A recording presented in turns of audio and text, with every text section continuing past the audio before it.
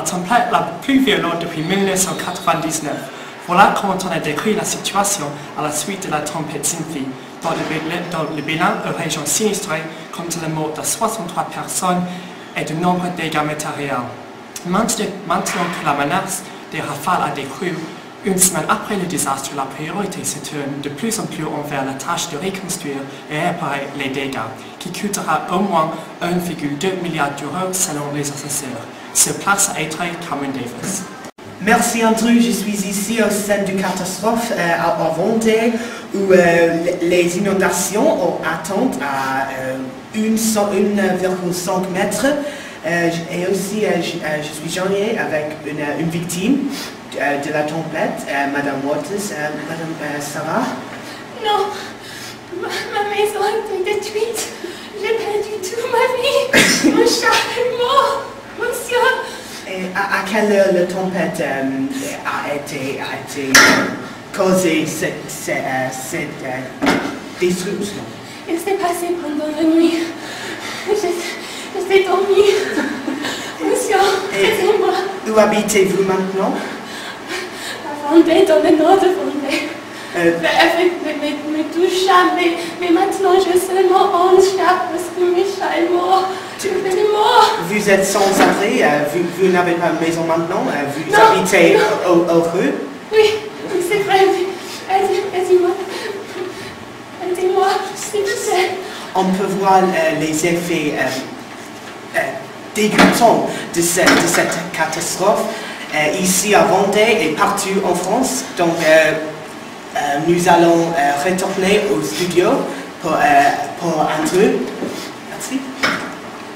Merci Cameron. Alors nous sommes reconnaissants, d'avoir ici dans le studio le président de la Conseil général de la Vendée, Gavin Bellamy. Bonjour. Bonjour. Alors, euh, on commence avec la question primordiale. Ce désastre pouvait-on éviter Nous étions bien préparés. Pas de question de ça, nous, étions bien préparés, pour, une tempête de, de 50 ans. Euh, mais cette tempête, euh, euh, on, était confronté à une tempête d'une telle férocité que l'on en anticiperait un chaque 100 ans. Et donc, pas de l'investissement, pas, pas de l'infrastructure en plus aurait prévu cette, tragédie.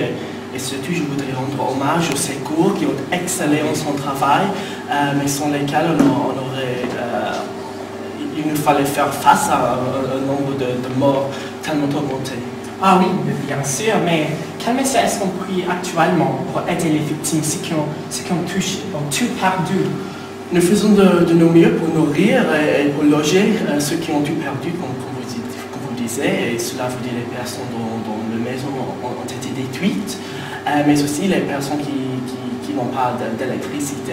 Euh, dans le bilan, le, le bilan dépasse euh, en ce département, seulement ce département, 3000 perso- personnes.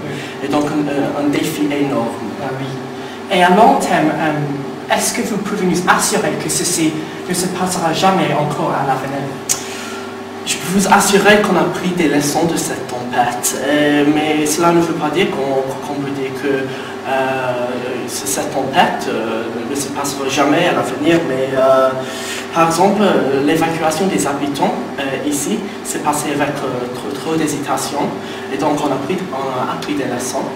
pour l'avenir, mais aussi parce que le, gouvernement, le gouvernement nous a confié à 5 millions d'euros afin, qu'il- afin que le système de, de première alerte soit, soit établi.